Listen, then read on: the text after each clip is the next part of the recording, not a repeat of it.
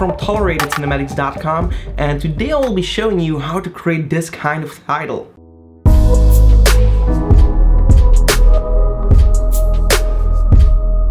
Alright, so it's a really cool title that you actually see in a lot of vlog kind of videos and it's actually really simple to create but you just have to know how. We can do everything in Adobe Premiere Pro. So open up Premiere Pro and let's start creating. Alright, so here we are in Adobe Premiere Pro and as you can see right here I have my titles um, all set up in layers. So let's delete this and we'll start off with my video. So my video is a time-lapse. Um, that's a cool way to start off a video. Um, so a short time-lapse. I didn't have a lot of time here um, but if you have time, um, yeah, make sure it's actually a nice time-lapse because this one is actually um, not my best one. But yeah, that being said, let's create a new item right here, and we will be creating a title. Here we can give it a name, so I will give this uh, title my main title. As you can see right here, I am working with a 60 FPS sequence in full HD square pixels. So just choose uh, your project settings. It should be uh, automatically. So click OK. And right here, we can actually add our title. So I will choose my type tool and click somewhere over here and write in caps, so holding shift photography. And I'm going to be using a font called Lato. This is one of the fonts that I really like to use um, and then I'm going to change the font style to something like regular and then also change my size to make it a little bit larger and also uh, position it right over here just make it as large as the width of uh, the first title sequence here. So there we go. I have something like this and I think this is looking alright. Then with the arrows you can actually do some minor adjustments to the position.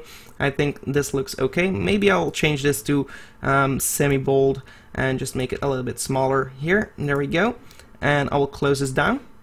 Then I will place my title right here on the first layer above my uh, video. But as you can see, mostly when you do these um, yeah, snapping titles, uh, you do them on the beat. So just listen to your audio first.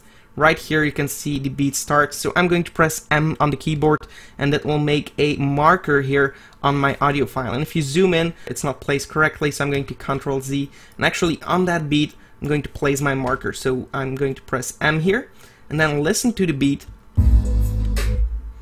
right here right here my second um, beat is actually hitting so I'm going to press M over here as well. And I know that right over here I also have my tag so I'm going to press M on, on here as well actually right here at the beginning you can see that I, I didn't place my marker well. Um, it's actually on the video. I'm going to place it on the audio like so. And then I'm going to place my main title at the first marker and it's actually going to snap. So if you don't see it snapping press S on the keyboard.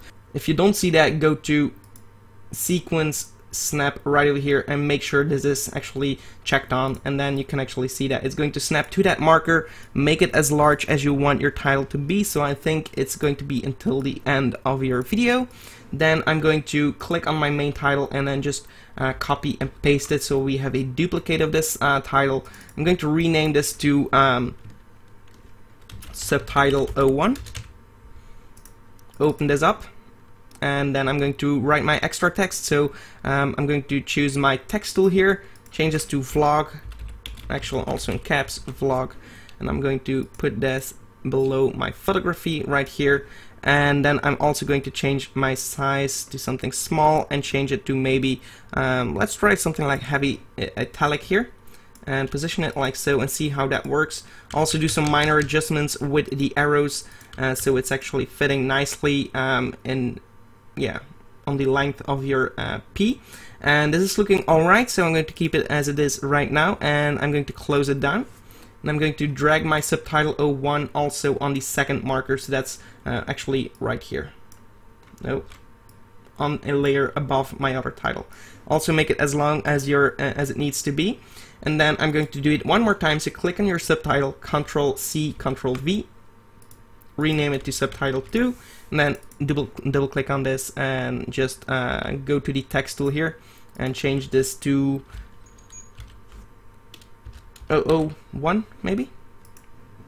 And actually if you script through the time uh, where you can actually see your both titles you can actually move this um, while seeing your other titles as well, so you can actually um, edit it this way. Alright, and then again with the arrows you can move it around, and actually if you want to, you don't have to, um, but like if your background is a little bit bright, you can click on your text and add a little bit of shadow right here, so um, if we close everything down with the properties and the shadow right here, we can actually add a soft shadow of 35 uh, with a small angle and then you will be able to read your text a little bit better and you can actually do that for all the text. And if you would have done that before uh, you would actually um, you can actually copy it each time and then uh, it's going to be easier. Um, but if we go back to that subtitle 01 let's open that up go to shadow here actually click on it shadow.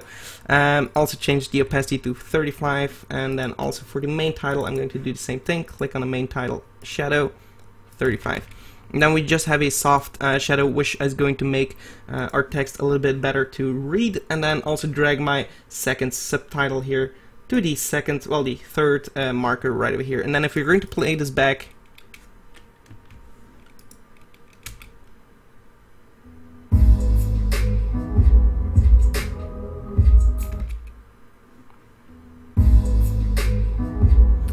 If you want to check only this area, you can press O on the keyboard and I on the keyboard where you want to start and then you have a selection like this and go to sequence, render in to out and then you're going to render everything out and you will be able to play it back real time.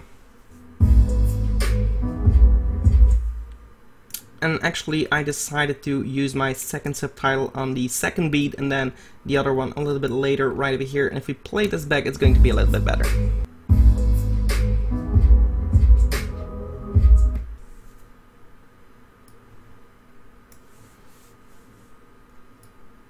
Alright, so there we have it after a little bit of tweaking and listening to the audio and placing your subtitle actually on the correct spots because I'm actually making this tutorial.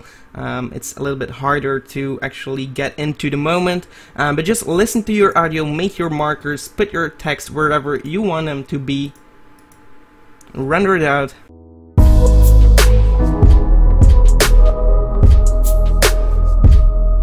And there you have it, so I hope you enjoyed it. If you liked it, give it a like. Also, subscribe to the channel for more. Thank you so much for watching, and goodbye.